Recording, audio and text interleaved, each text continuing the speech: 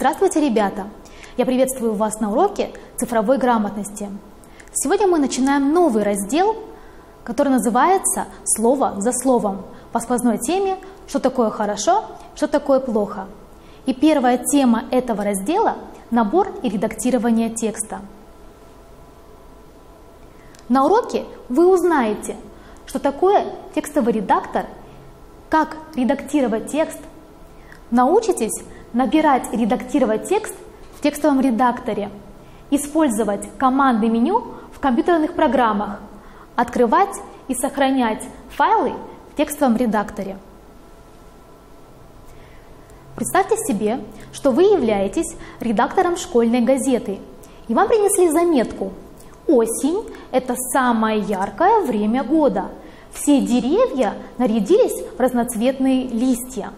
Как вы думаете, можно ли такую заметку публиковать в газете?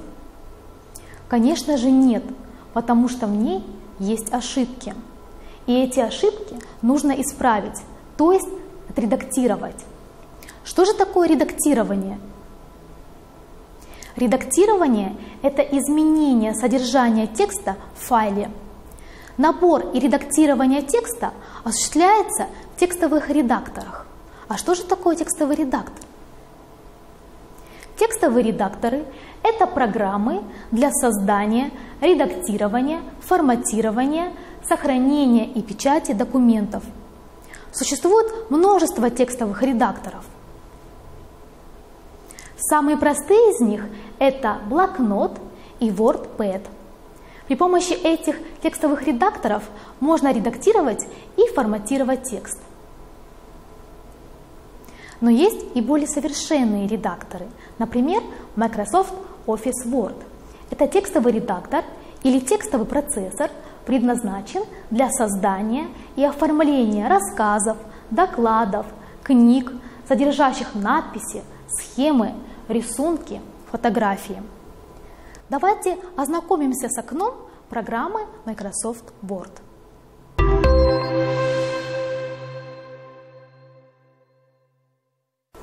Давайте запустим программу Microsoft Word двойным щелчком левой кнопкой мыши по ее ярлыку.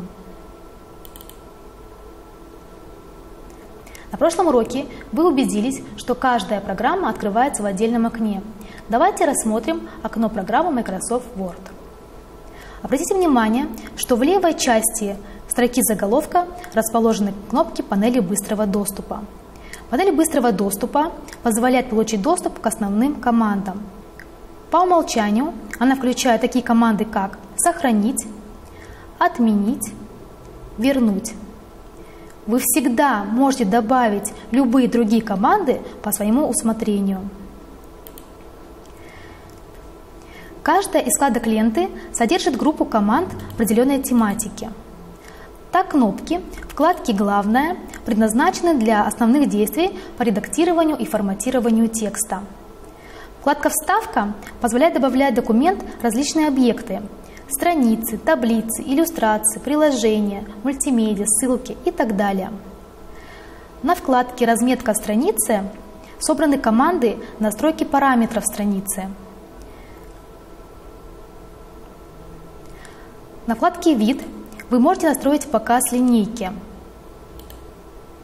Линейка может понадобиться вам для установки отступов – Рабочая область занимает основную часть окна.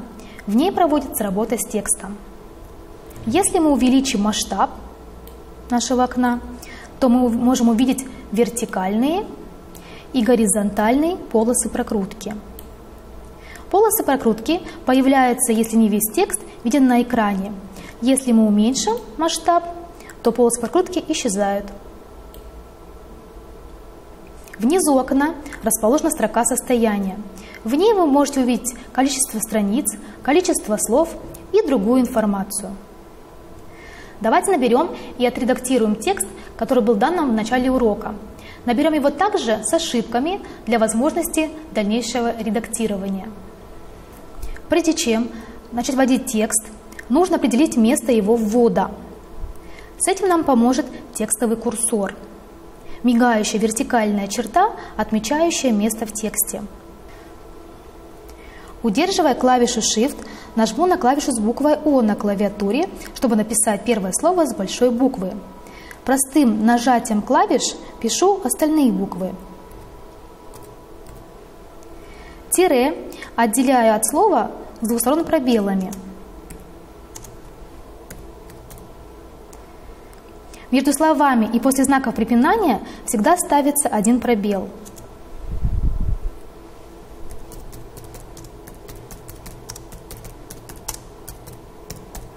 В конце предложения ставлю восклицательный знак. Нажимаю на клавишу Shift и клавишу с этим знаком. Чтобы написать следующее предложение с нового абзаца, нажимаем клавишу Enter.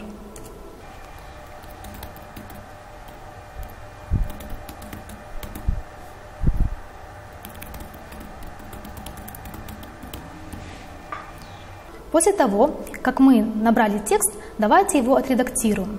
В первом предложении ошибка в слове «осень». Вместо «и» мы пишем букву «е», потому что природное слово «осенний». Расположим текстовый курсор слева от буквы «и». Нажмем клавишу Delete.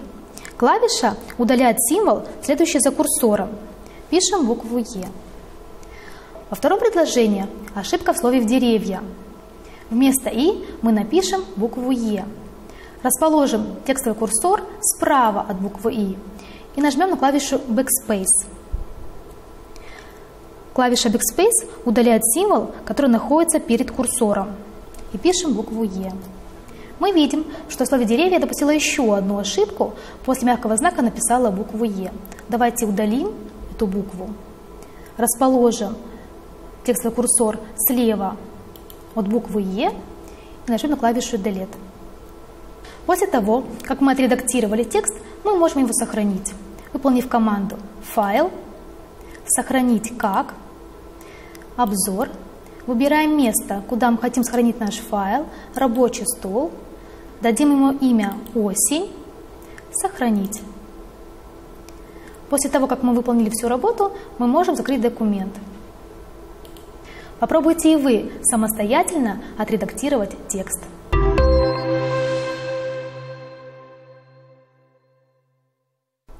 А теперь ответим на несколько вопросов. Первое. Выберите лишнее.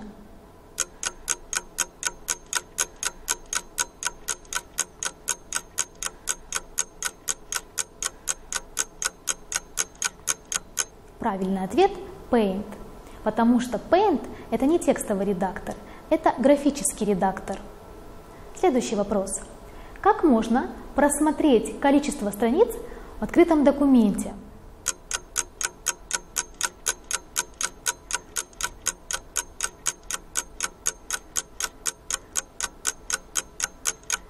Правильный ответ в строке состояния. Следующий вопрос. Изменить масштаб просмотра документа можно.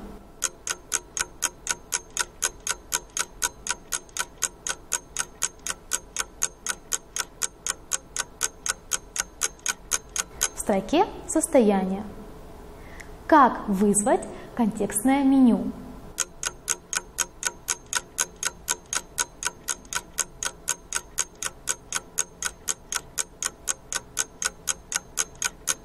Щелкнуть правой кнопкой мыши на нужном элементе документа. И последний вопрос. Команды для сохранения документа находятся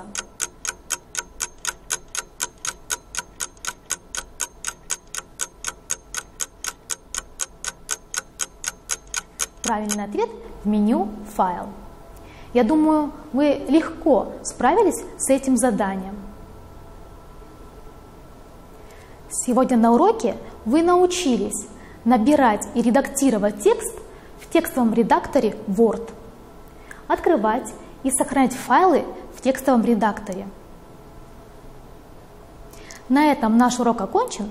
До новых встреч!